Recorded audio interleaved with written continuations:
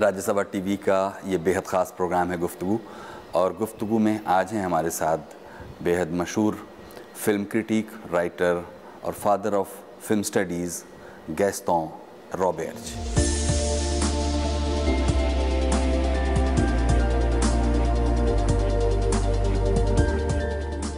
Gaston Roberge पादरी और film विशेषज्ञ फादर गैस्तों रॉबेर्ज का जन्म 1935 में कनाडा के मॉन्ट्रियल शहर में हुआ। स्कूल के दिनों से ही गैस्तों रॉबेर्ज में फ़िल्मों के प्रति दिलचस्पी थी, जो वक्त गुजरने के साथ बढ़ती ही गई। अपने कॉलेज के दिनों में ही गैस्तों रॉबेर्ज फ़िल्म क्लब से जुड़ गए थे, जहाँ उन्होंने सत्यजीत रे की भी फ़िल्में देखी। रे की फ़िल्में देखकर फादर गैस्तों रॉबेर्ज के दिल में भारतीय संस्कृति और कला के लिए जो शौक पैदा हुआ, वो उन्हें 1961 में भारत खींच लाया भारत में उन्हें सत्यजीत रे का खूब साथ मिला और 1971 में फादर गैस्तों रॉबेर्ज ने कोलकाता में एक फ़िल्म अध्ययन केंद्र, चित्रबानी की स्थापना की। फादर गैस्तों रॉबेर्ज ने बतौर ट्रेनर और रेडियो ब्रॉडकास्टर भी काम किया। उनकी लिखी कई किताबें फ़िल्म छात्रों और शोधार्थियों के लिए ज़रूरी सामग्री और अंतर्दृष्टि उपलब्ध कराती हैं। आधी सदी से भी ज़्यादा समय से सक्रिय फादर गैस्तों रॉबेर्ज को लेखन के माध्यम से कुशल संप्रेषण के लिए 1999 में राष्ट्रीय फ़िल्म पुरस्कार से सम्मानित किया जा चुका है। फादर गैस्तों रॉबेर्ज का मानना है कि फ़िल्मों में शैक्षिक स्पर्श होना ज़रूरी है, क्योंकि फ़िल्में समाज के विकास में मददगार होती हैं। आइए नज़र डालते हैं एक ईसाई पादरी के फ़िल्म समीक्षक बनने के सफ़र पर। Welcome to the show, sir. I am very, very happy to share my thoughts on my life here in India and more, perhaps. But so, first of all, I would like to ask you about your uh, your life journey. I mean, your initial years. All the life, or only the part in India? No, all the life. All the life. Well, I was born in Canada. Uh, from a French-speaking family, and uh, I lost my father when I, I, was not two years old, and my uh, we were four children, so my mother managed to uh, educate us, and uh, I decided to to be a priest. Very very early, and uh, as the Lord guided me, I joined the Jesuits in Canada. And uh, sometime, one of my maternal uncle uh, came to Sri Lanka. He was a communicator, as if he had prepared my own uh, uh, life, but he was a specialist in radar, work, working for the av- aviation of Canada and he spent two years in Sri Lanka. And when he came back to our place, he was talking to us with such devotion uh, uh, about uh, the Indians he had met in Sri Lanka at that time during the war. So that uh, as a young boy, I was wondering, shall I ever meet these people? And it happened it happened. Uh, as a young boy, I became interested in cinema, even in pri- primary school, because uh, our school was uh, showing us one film every week on the Saturday, where there was no class. And uh, I was very much impressed by the experience there.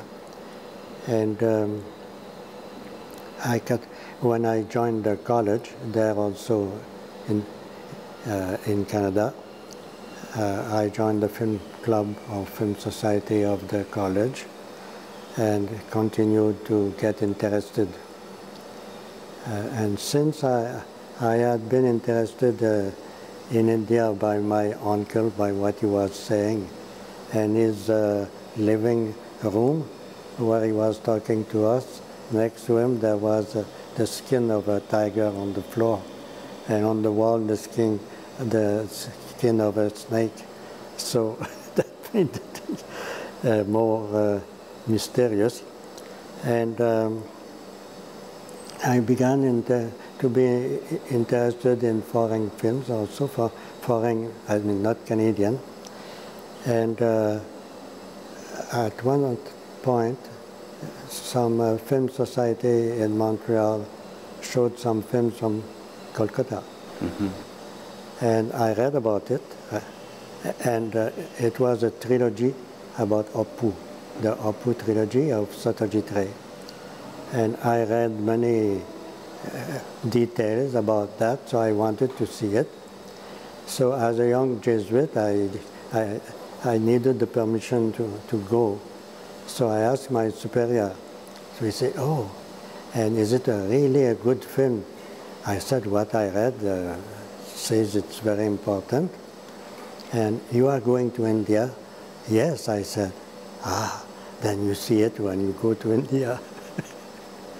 so, but then he was not just joking. He said, you tell two of your companions to go and see the film, not you. Some, uh, several months after, I was on my way to India, and uh, I, I, my uh, superior had told me, oh, if you go in the east, go slowly. Instead of going by air, I was told to go by boat. So from Montreal, I had to go to New York to take a boat. And um, I saw in the newspaper that the Apu trilogy that I had wanted to see was being shown there, close by to the hotel where I was spending the night. So I went to see it. And really, for me, it was an introduction to India. And to see the three films in one sitting was asking the man a lot. It was difficult to digest the second and the third all in a row, but uh, Pather Panchali had a tremendous effect on me. How human, human these people were. And uh, when I came to Kolkata, I was very happy to tell the people that I had seen those films. And I mentioned that uh, the film that I liked best is when the two children, towards the beginning of the film, they secretly from their parents, they prepare some pickles together and then they eat them. And there is a series of uh, shots, close-ups. The little girl is eating. She smiles. She gives some to Apu, the little boy, younger than I, and he smiled. So it goes. So I told uh, the young, the people I was talking to on my arrival, that I had liked that very much. Not that they gave me the taste of the pickles, but the taste of joy, of the joy of children, pure joy.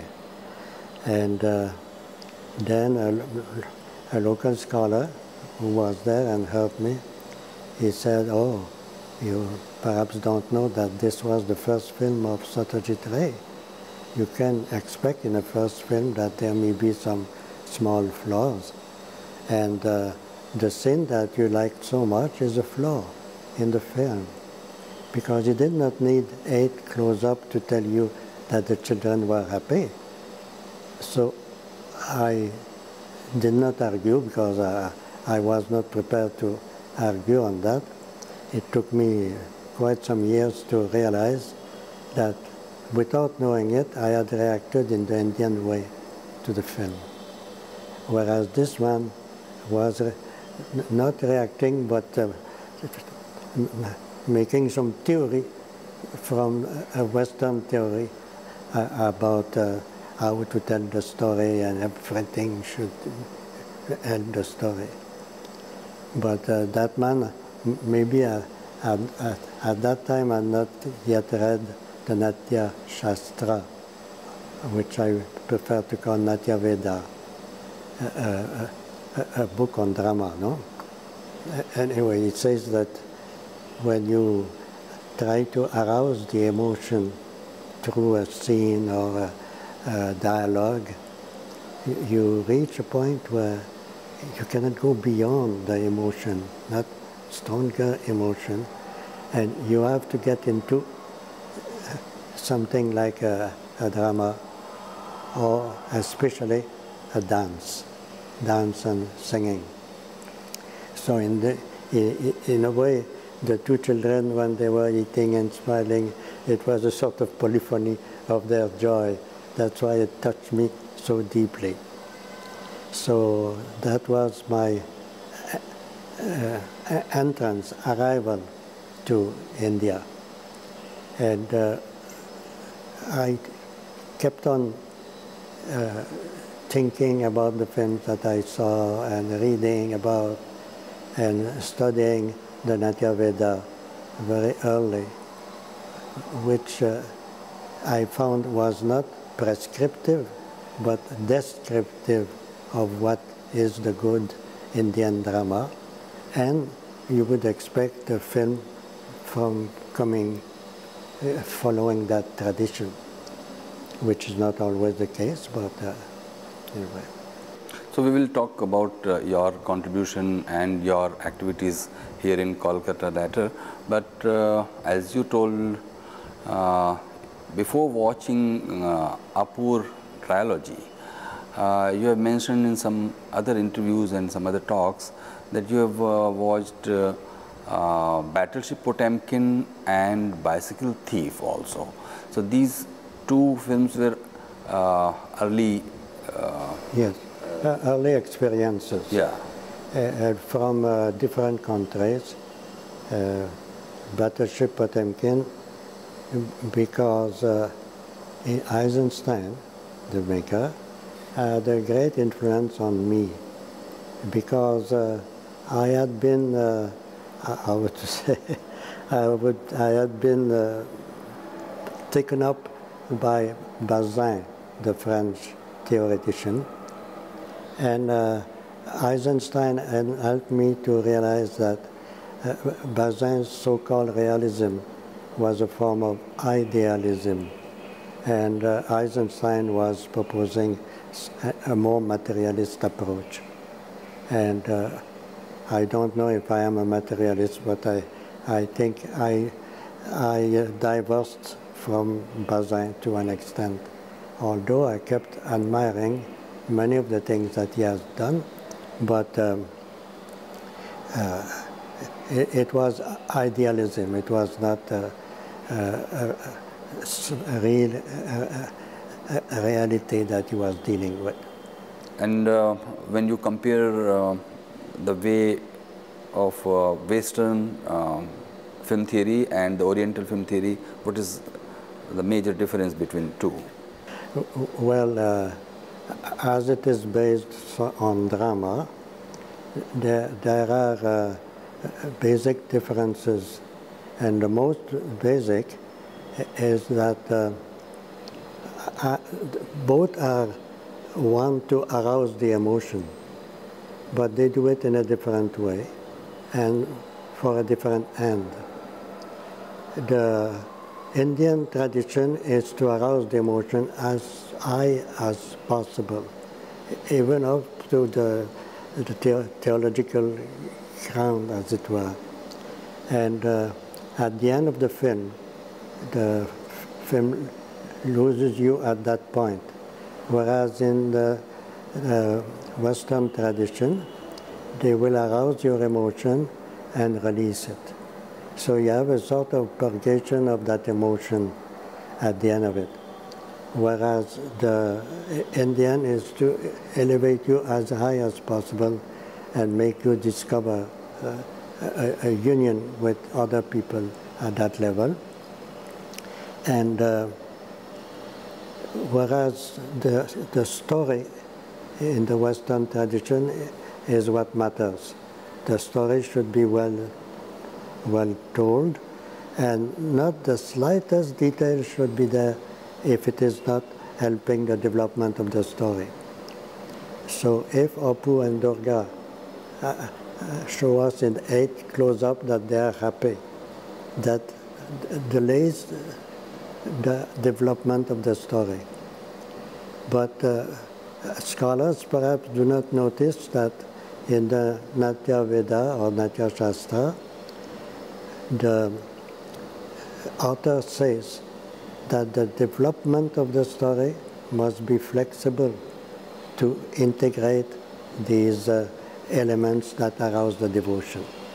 So, Father Gaston, uh, I would like to ask you uh, why there's a need to study a film. I mean, watching a film is not enough. The reason is that you are the film that you see. Because what you show on the screen is not the film. The film is the imaginary sequence that is created by the viewer. That's the film. Well, if you tell the story from what is shown on the film, you won't make it possible for the person to really experience it. And uh, when you prepare your shots, you see it in such a way that the viewer uh, makes some relationship between the shots, relationship that are not mentioned vocally. And if these relationships are not created by a viewer, the film doesn't take place. Now, if I say that I imagine those things, uh, triggered by what I see and hear from the screen, if I say that I imagine it, can I say that the film is in me? I can say more. I am the film. Two different viewers may be the film differently, but uh, generally no. Uh, because the first one to imagine the film is the filmmaker. And that is the experience that he translates in audiovisuals for us to see. And I found it very important in, uh, in the, at the beginning of the Natya Veda, they, they have some mythological stories with the gods gathering with Brahman and telling God that uh, the people are in problems and you must create a media that is seen and heard, sight and sound, as the British would say, Chitrabani, as the, I would say. and uh, that was because at that time, the, the four Vedas that were existing, uh, most of the time they were read publicly. And the Sudras were not allowed to attend. So they were illiterate and they could not hear what was. Now, with the new drama and the mythological stories that Brahma uh, created the, the first drama. And that makes the matter somewhat religious for a person like me. And uh, I, I can quote someone purposely, I don't remember his name. I love him and he's a nice person. Uh, I don't want to appear to speak against him, no. But he said, we want a new cinema that will be an art cinema for the elite. Hmm. if you take the Natya Veda, this is totally opposed to what is that the drama are for all without exception. Number two, the drama are all e educational. So they are positive and uh, important in the life of the people. And uh, most of the time, they are group experience. And now with the new uh, gadgets in our media, it's possible to see drama or cinema alone. And uh, I don't know if you experience that there is a difference to watch a film alone and to watch it with a group of people. Because the experience, the imaginary thing becomes somewhat uh, similar in all the people, and that strengthens it. And uh, this uh, Chitrabani, you talked about uh, Chitrabani earlier. Uh, what was the idea behind Chitrabani and uh, how it uh, came into being? Well, the, the, the term that I mentioned was not the name of a center, but uh, this was proposed to me by a friend that uh, uh, Kavi Guru Tagore had suggested Chitra Bani as the equivalent of sight and sound of the British. And uh, when I wanted to create the center, and I was talking as a, uh, the, the home of the movies or something like that, someone suggested Chitra Bani. And via Tagore, by using these two terms, you went to Nanantya Veda, who had asked Brahma and, uh, uh, uh, um, a media that would have both the eyes and the ears. To, when I read in uh, Aristotle, in his book on drama called Poetics, he described a scene plausible where you show something that is in practice practically uh, impossible, yet it can happen if you use your imagination. So uh, Aristotle said that you use plausible scenes to excite the imagination, and that's what people like. And I, I, I agreed with that. But you see, at the primary school, I, I was not taught these details. So for all these years, I forgot the scene. But when I read about not that particular scene, but about a plausible scene, I said, oh, but I saw one. I know what it is. I saw. ah, ah." I, I, I woke up. So I always felt that it was uh, uh, needed to help uh, our students to, to uh, integrate their experience.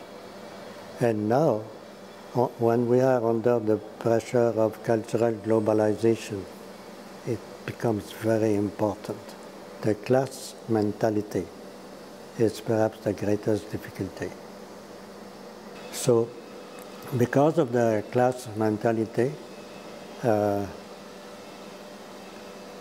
at Chitrabani, I used to create every year a group, a, a film study group. And again, to start, I would ask them what movies they have seen. Nobody would mention a popular movie. I belong to higher class. Poor me. So after spending almost 50 years in uh, uh, Indian subcontinent cinema, what uh, I mean, what are the main things you learned about uh, this kind of cinema? Well, certainly the, the arousal of emotion and the educational uh, role of drama and belong drama like cinema. So, and that uh, from the beginning guides me to respect the filmmakers because they are doing something very important and uh, they need to be supported also. So there are many kinds of uh, cinema exist in the whole subcontinent. But when you see uh, the ethos and the, the vision and the people's behavior, how you sum up uh, the whole experience? I am aware of that uh, uh, large amount of uh, films depending on the uh, languages especially. But uh, I'm afraid that in all uh, these years I did not uh, sense the experience, the differences from a Bengali film or a Tamil film. I, and I can sense that there is a difference because although the basic Indian culture is the same for all, in practice the actual culture is different from one group to the other. So at the end of the show, I, I, I would like to ask you uh, what a film adds to a person's life. I think it is an, uh, an uh, important experience. Uh, because uh, as I say, by watching the images on the screen and the sound that come along, you imagine, because it's not that, it is, you, you, you imagine the thing which is not there. And uh, I, I think the cinema has a very great influence on all. And uh, I, I think it had a great influence on me also. That does not uh, say that books have nothing to do, and etc. But uh, I think it has a great experience. And the scholars sometimes uh, do not help neither the filmmakers or the film viewers by their criticisms. If there's uh, something can be called uh, good or bad cinema, what is your yardstick to uh, to measure the good or bad? Well, I, I did not specialize in that field because uh, I take any film at first positively. I say, oh, so and so has made that film. no. The bad films, uh, I, ca- I cannot give any example now, but uh, I'm sure of what I, I say about myself. Uh, we should take it positively and uh, help the viewers to see what is bad in it without blaming the filmmaker or producer. So. Uh, the, uh, our uh, position as scholars is to help both the, the viewer and the maker of the films. And I think it is worked when we think of the millions of people that see movies. So, Father Gaston, with this question, I, I would uh, like to sum up this conversation. Thank you. Thank you very much for sparing your precious time. It was a pleasure to share with you. Thank you ये थे father Gaston Roberge Indian subcontinent में film studies के पितामह माने जाने वाले father Gaston रॉबेर्ज के साथ आपको बातचीत का ये एपिसोड कैसा लगा हमें लिख सकते हैं feedback dot R S T V at Gmail dot com पर